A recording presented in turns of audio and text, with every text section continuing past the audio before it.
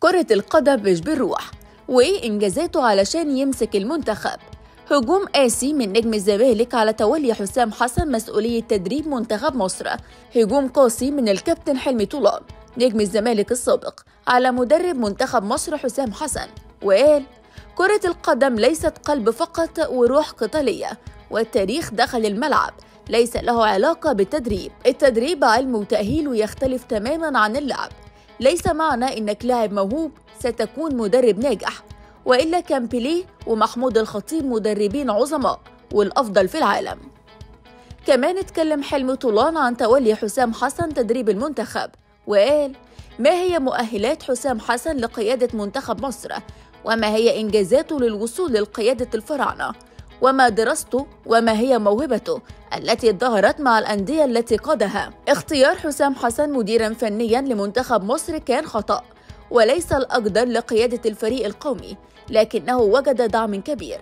عكس حسام البدري وإيهاب جلال لا أعلم هل يخشاه الناس. أقسم بالله العظيم اتحاد الكرة ليس له أي دور في تعيين حسام حسن. ولو أنا من المجلس سأتقدم باستقالتي. لكن لم يكن بمقدورهم أن يتقدموا باستقالتهم وعندما يكون اتحاد الكرة ليس لهم دور في إدارة الكرة في مصر. إذا لم يكن منهم فائدة فيجب أن يرحلوا.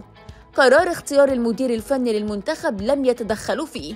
وكمان قال حلمي طولان حتى وزير الرياضة أشرف صبحي ليس له دخل بالموضوع لأنه كان اتفق مع اتحاد الكرة على ثلاث مديرين فنيين أجانب قبل تعيين حسام حسن. مش بس حلمي طولان اللي هاجم حسام حسن لكن كمان ضياء السيد. اتكلم عن حسام حسن وقال ما حدث ووجود كوكا في القائمة وهو مصاب ليس طبيعيا وكان الأفضل استدعاء لاعب آخر خصوصا أن المعسكر الأول يحتاج لرؤية جميع اللاعبين. في مشكلة واضحة في الجبهة اليسرى في ظل عدم انضمام أحمد فتوح لاعب الزمالك. خصوصا أن محمد حمدي سيتم إيقافه من لقاء بوركينا فاسو. لذلك كان لابد من وجود فتوح وهو لاعب دولي وكان موجود في المنتخب باستمرار. كنت أتمنى وجود فتوح بكل تأكيد مع ضم لاعبين في كامل لياقتهم البدنية والفنية. ولكن في النهاية كل التوفيق للجهاز الفني للمنتخب الوطني في مهمته الحالية. كمان الإعلامي إبراهيم عبد الجواد انتقد تصريحات حسام حسن المدير الفني لمنتخب مصر بشأن إصابة مصطفى شلبي جناح الفريق الأول لكرة القدم بالقلعة البيضاء.